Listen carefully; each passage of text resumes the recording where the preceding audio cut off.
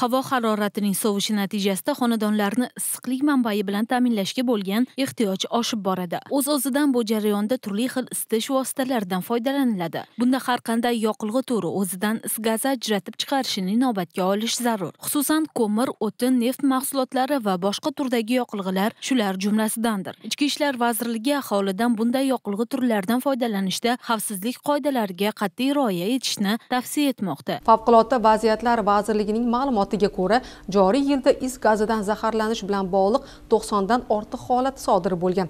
Eng achinarlisi is gazidan ellik nafar yurtdoshlarimiz jabrlangan bo'lsa bir yuz qirq olti nafar fuqarolar zaharlanish oqibatida vafot etgan. Shunday ekan nostandart yoki sertifikatga ega bo'lmagan isitish pechlari va anjomlardan foydalanmang. Isitish pechlari dudburonlarning toza va soz holatda bo'lishini ta'minlang. Gaz yoki boshqa muqobil yoqilg'iga moslashtirilgan isitish pechlari hamda suyultirilgan uglevodorod va gaz ballonlarini dam olish yoki yotoqxonalarga olib kirmang. Oshxonada o'rnatilgan tabiiy gazda ishlovchi gaz plitalaridan xonalarni isitish maqsadida foydalanmang. Is gazi xavfini sezsangiz o'n ellik yoki bir yuz ikki qisqa raqamlari orqali xabar berishingizni so'raymiz.